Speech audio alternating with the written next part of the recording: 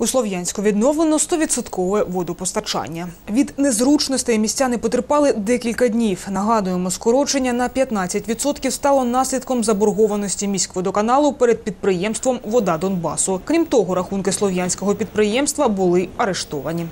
Буквально э, в начале прошлой недели э, было решение э, департамента э, ЖКХ области о том, что м, городским водоканалам, не только Славянскому, а и водоканалам Краматорска, всем абсолютно, там, Мариуполя, э, необходимо обеспечить э, оплату живыми деньгами э, перед водой Донбасса за покупную воду в размере 50%. В нашем случае это 2 миллиона гривен.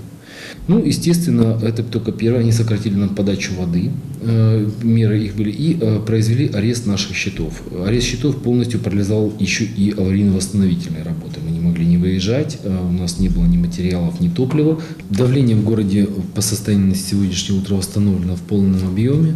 И э, проблема решилась м, за счет средств все-таки городского бюджета. Э, вчера на сессии городского совета внеочередной был выделен миллион гривен, и он э, будет направлен э, в погашение задолженности э, в воде Донбасса. Як зазначає керівник Словміськводоканалу, подібні ситуації спрогнозувати складно, адже сукупний борг перед водою Донбасу складає понад 50 мільйонів гривень. На додачу йде стійка динаміка до зростання боргу. Це пов'язано з низкою факторів. Що саме заважає слов'янському водоканалу вийти з кризи та чи є надія на покращення, ви зможете почути у наших найближчих випусках.